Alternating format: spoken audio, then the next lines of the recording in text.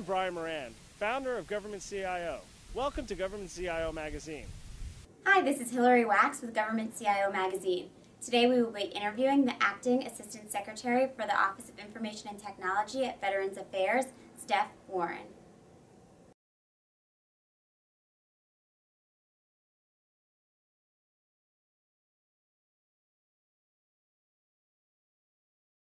So, great question, Hillary, in terms of what have we done at uh, the VA with respect to IT. If, if I go back and I look two years and I look at where we were in from product delivery. So IT is basically a product and services organization. From a product delivery standpoint, uh, the promise of PMAS has been realized.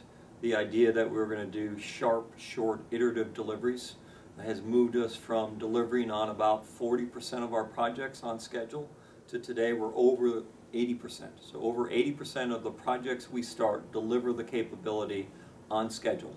Uh, and then for the ones that did not deliver on schedule, 85% uh, of them made uh, the delivery of the product, but they were 30 days late.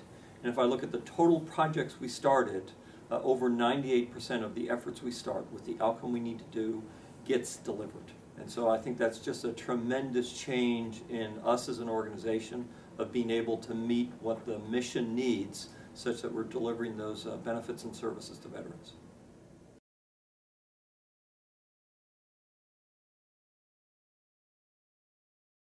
So, so this move to uh, uh, an agile iterative approach, this term we're using, PMAS, um, what has it done to us in terms of as an organization? Uh, we are more responsive to what our customer needs. Uh, we're more responsive to what our client, the veteran, needs. Uh, the fact that we're able to quickly move out on projects, the fact that we're able to deliver them, we've actually tripled the capacity in terms of the amount of work, the amount of customer-facing functionality we're delivering to the mission side and that they're using uh, to support our veterans. And that, that's allowed us to do more. It's allowed us to be more efficient and effective uh, with the resources we've been given, and it's allowed the organization to move a lot faster uh, to some of the outcomes that we need in terms of making sure our veterans receive those benefits and services. And I'll tell you, an IT organization is a product and services company, and it has a layer of customer service around it. We've done a tremendous amount of work in the last three, four years uh, to figure out how do we do product delivery to the point of we're delivering products and I can talk about greater than 80% on schedule, 85% within 30 days, 98% delivered uh, ultimately once we've worked our way all the way through. But as a result of doing that, as a result of moving that uh, flywheel, if you will, in terms of products, we've impacted how we do services. So we've changed the way we do contracting. So we now contract by increments. So we align the contract vehicle not up with the calendar, but with the outcome. We've looked at the way that we staff the organization, and we put a competency model in place such that we build project teams on the fly based upon what the increment needs. So we build teams, we break down teams, and while we're doing that, we're making sure the, the members of the team, the employees are getting the training and the support they need to continue to mature as individuals.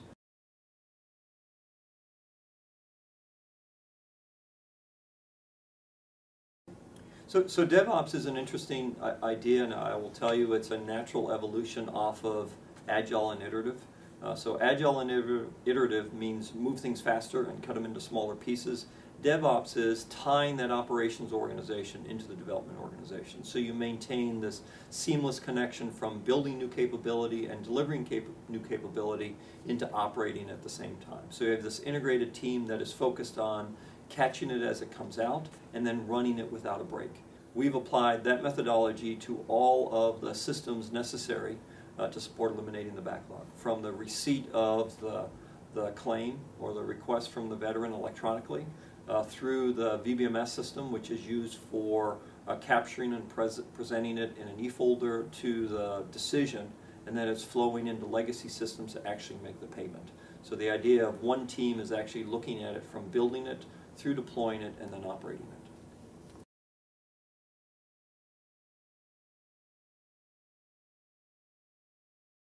I would tell you that uh, the VA is probably sitting middle of the pack with respect to maturity on mobility. We use a lot of tools and devices. Uh, we broadened it beyond just a single vendor. And so started with that tied into the back of the enterprise. Uh, we bought a uh, mobile device manager which allows us to manage multiple devices and so we uh, are carrying support for iProducts, uh, for Android products, for Blackberries and others to make sure they actually can knit up to the infrastructure and that we can manage them such that as we used to do with Blackberries, when somebody lost one, we're able to turn it into a brick very quickly. We now can do that with all those other devices. And the MDM also uh, supports us in terms of exposing more capability. So it's more than just email. Uh, it's how do we bring mission capability into that device while protecting the data, which is a, a key concern for us, is making sure uh, that veterans information is safeguarded and is receiving the same level of care and same level of care and concern that the veteran receives from us. One of the, the, the, great things I talked about mobile and the maturity of the VA with respect to mobile is uh, we're moving very fast. We're using the ability of mobile plus iterative, that agile approach I talked about with PMAS, to be able to quickly take an idea and turn it into a reality. So once a year the, the VA does something called a pit count or a point in time on the homeless program. And, and just as a refresher, uh, the homeless program is we've moved from just taking veterans and moving them off the street into a shelter uh, to uh, four years, the secretary said we have to do better than that. We've got to aim higher. So the idea of get the veteran off the street, get them into a shelter, and then move them up the chain such that they can experience the American dream. And so to see how we're doing in terms of getting them off the street, we go and do point-in-time uh, surveys. We've been doing it with paper. Uh, this year, two weeks before that point in time or pit count, the team came to us and said, hey, we'd really like to do this using electronic devices and we were able to turn in two weeks to have a device deployed out in the field so the folks doing the pit count were proving the technology and the concept. So very quick movement and just drawing upon the work we've done in the last two years of agile, iterative, PMAS using mobile technologies and the blended teams in terms of how do we do things together. I tell you another place where a lot of work has taken place is under the caregivers legislation where uh, as an entity, we're going to support family members who are helping the severely uh, ill or wounded veterans. We're in the home, so we actually are deploying on an, I, on an iPad. So in this case, we use that as the mechanism, uh, a clinic in hand, so the abil an ability to actually reach in and see what the caregivers need to know as part of uh, working with their family member. Again, a mobile device that allows us to quickly expose the data use the data, and, and deliver the, the quality care that the VA has become known for.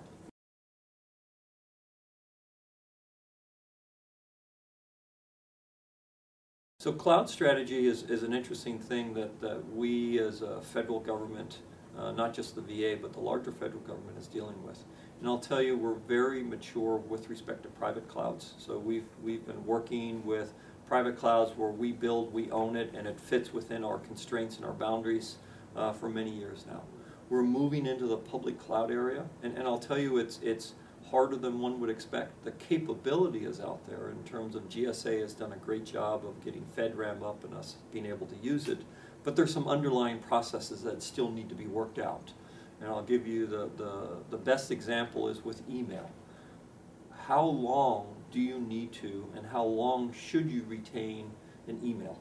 Right? And uh, where should the email see, sit? So in other words, if, if uh, there's a litigation hold as a result of an action need to be taken, and somebody needs to go out and find the email on the disk drive on the server, how do you do that? So when you move to a cloud, the idea is you spread it, and you get the efficiencies of scale, but there are some business processes that actually require you to be able to go and find the specific thing. And I tell you, we're still wrestling with that. Uh, we have a pilot that we're working on, and it's not going as smoothly if, as we would like it to.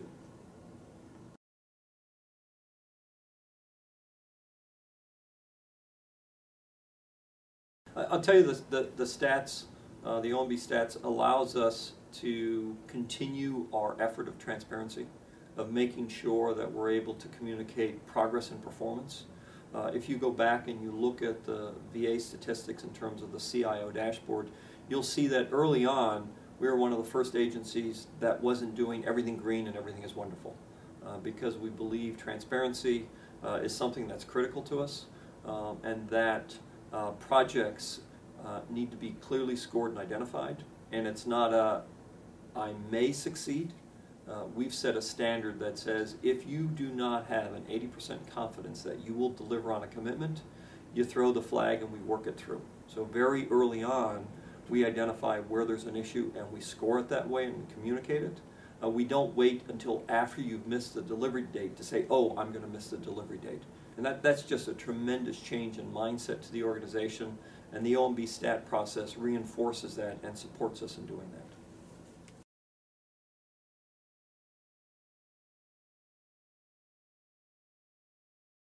I will tell you the, the, the piece, and, and, and it's, it's a learning aspect of it is, as a leader, there's probably a handful of things that you can personally take charge and control of. And as a result of that, you need to be very careful on what you pick as your key items that you are going to focus on.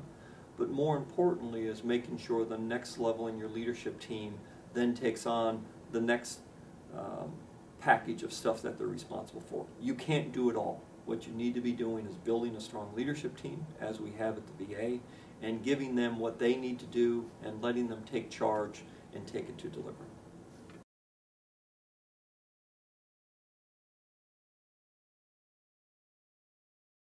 So, so one of the, the great things that we've been working on for the, the last couple of years in supporting eliminating the backlog is uh, rolling out the, the benefit system, or VBMS. It is one component of about an 88 uh, set of systems that, that support that effort. Uh, in the last two years, we've rolled out 24 uh, packages, so into production, into use. Uh, we are now sitting at uh, 46 locations 46 of the 54 regional offices. They have the system, they are using it, they're using it every day. They are seeing tremendous uh, impact and performance improvement as they're using this tool. And they're applying that tool to the people changes in terms of the training, getting them the skill sets and the tools they need to succeed, as well as the process changes that the department has laid out.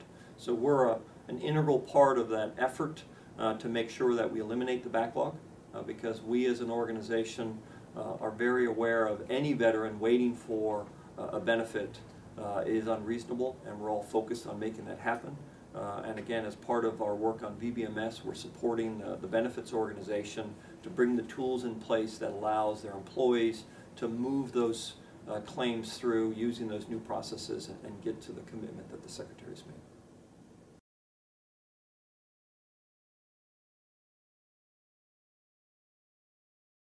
A key thing to, to consider when you ask what does an IT organization do or where is an IT organization, where are you successful is step back a little bit and ask what is IT and, and what's your role in mission delivery or what's your role in, in delivery of benefits and services to the citizen. We've looked at how we do that uh, PMAS process, the delivery process, and it used to be 94 uh, things that people needed to do and we went through it, we reduced it down to 27 because it's more than just do you follow the process, it's do you efficiently and effectively deliver those products. So we've looked at acquisition, we've looked at people, we've looked at the process, and we've looked at organizationally how do we do this. And so a lot of the focus is on how do you do product, and then recognizing that as you do that, there's an impact to the rest of the way the organization works. So in the next coming years, we're focused on customer service, how do we get out there and make sure our operations organization is positioned to catch those products and actually run them effectively? And how, even more importantly, we're aligned with our customers. We're listening to what their needs are. We're listening to what our employees are so that we are delivering quality products and we're then continuing to run those quality products. And this is a great place for people to come and work.